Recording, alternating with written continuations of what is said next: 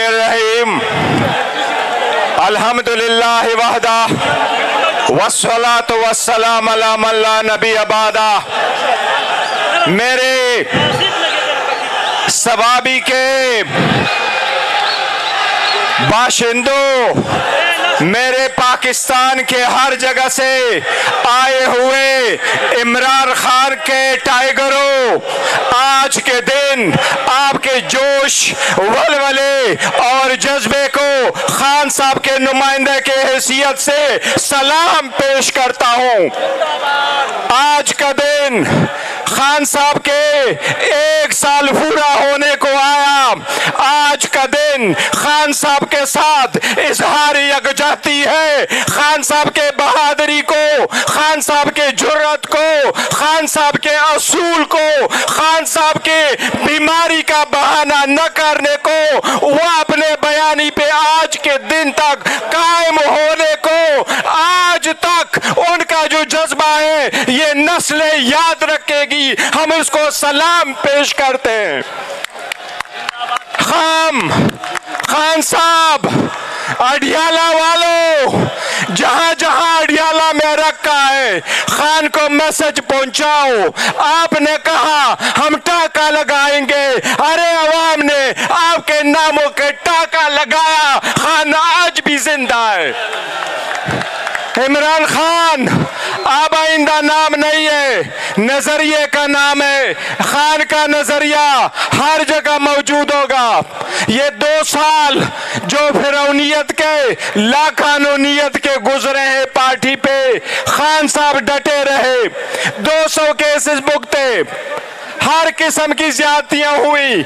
बच्चों के साथ, बूढ़ों के साथ, औरतों के साथ, हमारी माओ के साथ। आज रेहाना डार भी मौजूद है। उसके साथ, हमारी बहनों के साथ जो में मौजूद है। लेकिन एक काम नहीं कर सके। खान का बयानिया ये नहीं मिटा सके।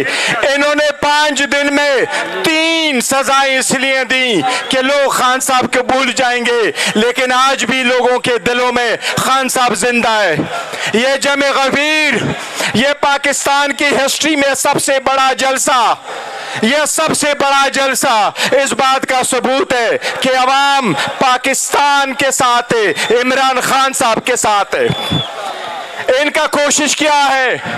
हम एक बात वाज करना चाहते हैं, हमारा किसी के साथ कोई झगड़ा नहीं है। हम चढ़ाई नहीं करना चाहते, हम दावा नहीं बोलना चाहते, लेकिन एक मुल्क में दो कानून नहीं हो सकते।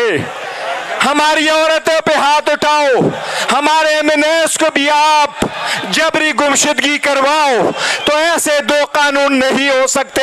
अगर यह तरीका रहा तो मुजाहिमत की तरफ़ आवाम जाएगी। हम चाहते हैं कि मुजाहिमत ना हो। सोच समझ के पैसा ले ले लो। वो लोग जो लीडरों और अवाम के दरमियान खलीज डाल रहे, वो मुल्क के दुश्मन है, वो मुल्क के दोस्त नहीं है। खान साहब ने कहा है, हम कहते हैं, डायलॉग होने चाहिए। खलीज खत्म होना चाहिए। दूरियाँ खत्म हो। जिस करप सिस्टम के बेनिफिशरी है, वो लड़वाना चाहते हैं कि ये अवाम अपने महबूब इस्टेब्लिशमेंट से लड़े। हम चाहते हैं खान साहब का नज़रिया है सब मुल्क, एक कानून, एक नज़रिया। रूल अब लाओ। अदलिया आज़ाद हो। अदली आज़ाद हो। हर हकदार को उसका हक मिले। यही खान साहब का नज़रिया है। इसी नज़रिए के लिए हम इंशाल्लाह कोशिश करेंगे। हमें डराया, धमकाया गया।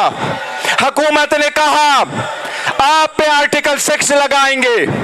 हुकूमत ने कहा, हम पार्टी पे बैन लगाते हैं। हम कहते हैं, डराओ नहीं।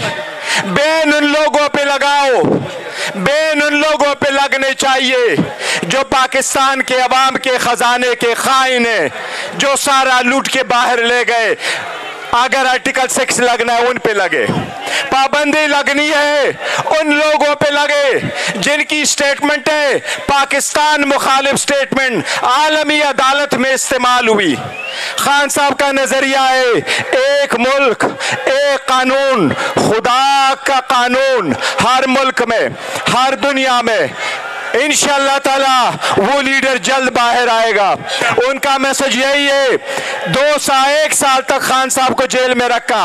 आज कोई केस नहीं है जिसमें खान साहब की कन्विक्शन हो, लेकिन फिर भी जेल में बंद है। हम समझते हैं, ये लाकानूनीत है। ये गैर आइनी गैर कानूनी है। बुशरा बीबी का, जहाँ से उसका तो शखाना के साथ दूर दूर तक कोई ताल्लुक नहीं। बीबी का नाम नहीं था लिस्ट में। बीबी ने पैसे नहीं दिए तो शखाना के।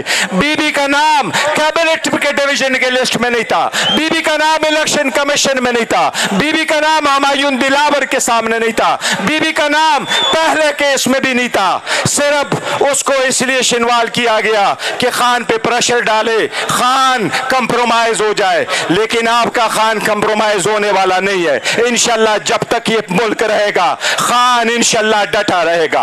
वो यही कह रहे हैं मेरा मरना इस मुल्क में मेरा जीना इस मुल्क में लेकिन अगर जीना इस मुल्क में तो कड़े होके जीऊँगा और आखिरी बाल तक लड़ूँगा। इनशाला अब आपके चीफ मिनिस्टर आएँगे इनशाला इसके बाद वो खास ऐलान करेंगे। इनशाला ताला खान साहब की तसल्ली रखो इनशाला ताला। आपके दरमियान और खान साहब के दरमियान अब दूरी नहीं होगी। इनशाला बहुत करीब खान साहब आपके दरमियान होंगे इन ताला। थैंक यू वेरी मच खुश रहो।